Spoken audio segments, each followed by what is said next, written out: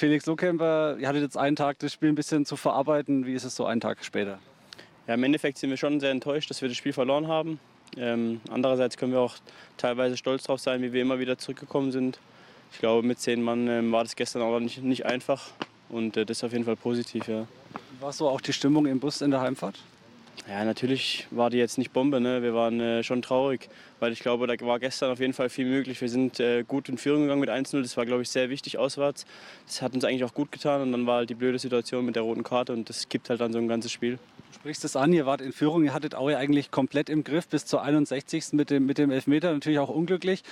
Ich glaube, ich weiß nicht, Asker wollte wahrscheinlich gar nicht mit Absicht, denn es war eher ein Reflex, oder? Ja, ich glaube, als Verteidiger will man halt immer äh, mit allem das Tor verteidigen dass er dann da gegen den Arm geht. Ähm, ich weiß gar nicht, ich habe die Bilder noch gar nicht so genau gesehen. Ich glaube, man kann es geben. Ähm, ist natürlich dann schon sehr bitter. Eine rote Karte und Elfmeter ist natürlich dann äh, schlechter, als wenn wir einfach das Tor bekommen hätten. Ihr seid dann wieder in Rückstand geraten, aber auch zweimal in Unterzahl zurückgekommen. Also Comeback-Qualitäten habt ihr ja auch durchaus. Ja, ich habe es gerade schon gesagt. Ich glaube, wir haben einfach auch gute Mentalität gestern gezeigt. Ähm, jeder Spieler hat man gestern gesehen, egal ob man eingewechselt wurde oder alle von Anfang an, haben Gas gegeben und wollten unbedingt. Deswegen tut es natürlich umso mehr weh. Es zieht sich ja so ein bisschen durch die Saison, dass ihr es irgendwie nicht schafft, Führungen oder auch Unentschieden, wenn man wieder rangekommen ist, über die Zeit zu bringen. Was war gestern der entscheidende Punkt?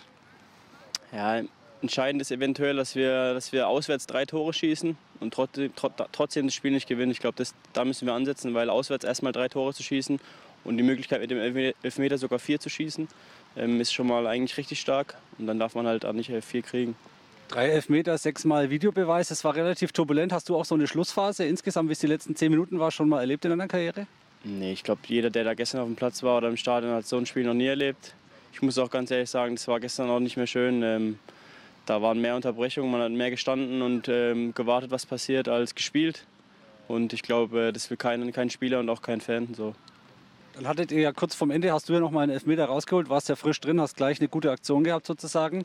Dann hat es uns ein bisschen gewundert, dass Michael Frey den äh, geschossen hat. War das, glaubst du, dass, dass äh, Johannes ihm einfach quasi das Tor gönnen wollte sozusagen? Oder gibt es da eigentlich eine Nummer 1 bei euch? Also eigentlich ist ja Johannes Geist der, Schütze, oder? Ja, Johannes hat schon einen gemacht. Ich glaube, Micha hat sich in dem Moment einfach auch gut gefühlt. Ich glaube, äh, jeder hat schon mal in der Situation, es äh, ist nicht ganz einfach in der 90. Elfmeter zu schießen, deswegen macht, uns da, macht, macht da keiner Michi einen Vorwurf. Ähm, ich glaube, er wollte es auch unbedingt und ich glaube, das ist halt im Fußball, mal, mal macht man den rein und mal nicht. Natürlich ist es bitter, aber da machen wir ihm keinen Vorwurf. Was hat der Trainer euch auch nach dem Spiel gesagt? Weil insgesamt habt ihr ja wirklich eigentlich eine gute Leistung über weite Strecken gezeigt, war die bessere Mannschaft. Er hat gerade auch das angesprochen, dass wir einfach auch mit zehn Mann äh, den absoluten Willen an den Tag gelegt haben. Und da war er dann auch teilweise sehr stolz auf uns.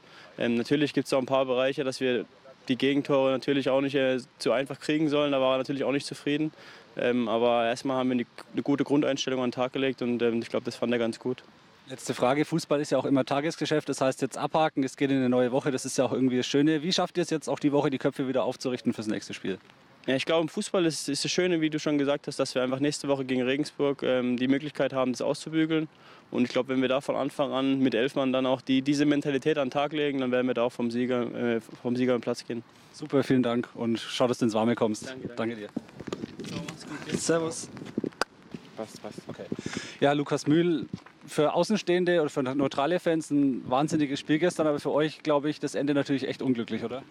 Ja, auf jeden Fall. Natürlich, äh, das Ergebnis ist ähm, enttäuschend. Ähm, wir hätten uns das anders vorgestellt, aber ähm, ich glaube, so ein Spiel erlebt man in seiner Karriere nicht mehr so oft, äh, was da alles abgelaufen ist.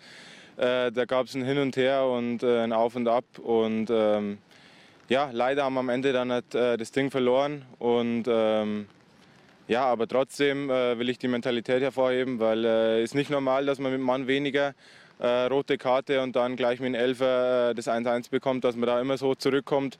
Und wir haben wirklich nicht aufgegeben und immer nach vorne gespielt. Und äh, ja, wir werden die, die positiven Dinge mitnehmen. Wir werden das auch analysieren, äh, was wir nicht so gut gemacht haben. Und dann gegen Regensburg äh, wollen wir das besser machen. Du sprichst es an, ihr wart eigentlich über lange Strecken die bessere Mannschaft, wart in Führung, habt dann seit zweimal in Unterzahl äh, zurückgekommen. Woran liegt es, dass ihr es aktuell nicht schafft, die Punkte dann auch mitzunehmen oder zumindest, abgesehen jetzt vom Elfmeter, dass man einfach das nicht, nicht mal Führung über die Zeit, gut, ihr hattet auch das mit der roten Karte natürlich, aber was ist so das Grundproblem, dass es einfach nicht für 90 Minuten reicht? Ja, spielt natürlich auch im Fußball ein bisschen das, äh, das Glück eine Rolle. Äh, du musst natürlich die entscheidenden Momente auf, auf deine Seite ziehen. Das äh, passiert mit harter Arbeit, das musst du dir verdienen. Und ich glaube, wir kommen immer näher, näher an das Ding heran. Momentan reicht es noch nicht ganz, aber wir arbeiten da wirklich hart daran, jede Woche, äh, dass wir das auch mal, ja, das Momentum, wie man so schön immer sagt, auf unsere Seite ziehen. Und ähm, ja, wir werden das intern ganz klar ansprechen, was. Ähm, äh, was die Dinge sind, die wir verbessern können. Und ähm, viele Dinge laufen ja schon gut und äh, das müssen wir dann in eine gute Balance äh, bekommen. Und dann glaube ich, werden wir das auch hinbekommen über 90 Minuten. Was hat der Trainer nach dem Spiel auch zu euch gesagt? Hat er euch aufgebaut oder was waren so die der grobe Tenor sozusagen? Ja, er hat uns aufgebaut und äh, gesagt, äh, für, für den Trainer draußen war es natürlich auch ein verrücktes Spiel. Und ähm, ja, da sind die Emotionen natürlich sehr hoch gewesen. Aber er hat uns natürlich aufgebaut, äh, wie ich schon, so, so, ähm, ja, schon gesagt habe, dass ähm, die Mentalität auf jeden Fall gut war, äh, dass wir immer wieder aufgestanden sind, nie aufgegeben haben. Und ähm, ja, trotzdem muss man dann halt auch ähm, ansprechen, dass wir, dass wir die Tore verhindern. Und äh, das werden wir im Kollektiv dann äh, auch machen und äh, besser machen wollen. Jetzt war es natürlich so, dass ihr in der 98. nochmal einen Elfmeter hattet. Vorher hat Johannes Geis ihn verwandelt, dann hat Michael freigeschossen. War für uns ein bisschen überraschend. Aber es war ja schon auch so, dass, dass er ihm den Treffer quasi schenken wollte, sozusagen, oder? Ja, absolut. Äh, Michael hat vorher ein Tor gemacht, er war voller Selbstvertrauen. Äh, wenn der Stürmer fragt, dann äh, sagt man natürlich nicht nein. Ähm, und dann hat ja, wenn er die Verantwortung übernimmt, dann hat er halt jetzt nicht getroffen. Ist nun mal so im Fußball, er ist ihm keiner böse, wir stehen zusammen. Er ackert sehr viel für uns, ähm, ja, er geht Wege ohne Ende. Und da ist er natürlich keiner böse. Und äh, wenn der nächste Elfer kommt, dann haut er ihn wieder rein und dann ist die, die Sache auch erledigt. Aber der eigentliche Etage Nummer 1 ist Jo, oder? Ja, er stützt normal der, der Geisse, aber er hat ihn das überlassen, was ich auch äh, gut finde, wenn sich einer gut fühlt und sagt, hey, gib mir das Ding. Äh, und wie gesagt, er hat ja schon äh, ein Tor gemacht. Ähm, ja, das ist am Ende immer so beim Elfmeter. Geht er rein, sagen alle super, geht er nicht rein. Ähm, sagen alle, ja, super, schlecht irgendwie, aber wir stehen da zusammen und ähm, dann haut er den nächsten wieder rein. Was macht ihr jetzt die Woche, um auch wieder euch aufzurichten fürs nächste Spiel? Es ist ja immerhin Tagesgeschäft, das heißt, man kann abhaken und fürs nächste Spiel schon planen. Ja, du sagst es, Tagesgeschäft. Ähm, jetzt haben wir morgen frei und dann geht die Woche am Montag los. Wir bereiten uns auf Regensburg vor, ähm, spielen zu Hause, wollen da gewinnen vor den eigenen Fans, die uns gestern wieder super unterstützt haben. Und äh, werden wir Gas geben und ähm, ja, dann die drei Punkte holen wollen. Letzte Frage, Regensburg auch irgendwie eine Wundertüte, ne? Weiß man nie, was man so bekommt gegen die. Ja, Regensburg hält sich schon ein paar Jahre in der zweiten Liga. Ähm, glaube immer unangenehm zu spielen. Ähm, ja, ich glaube, da werden äh, viele lange Bälle auf uns zukommen. Sie wollen den Gegner immer ein bisschen auch unter Druck setzen. Darauf müssen wir uns vorbereiten und äh, da werden wir den richtigen Plan die Woche angehen und dann halt, äh, umsetzen wollen. Come on, come on, yeah.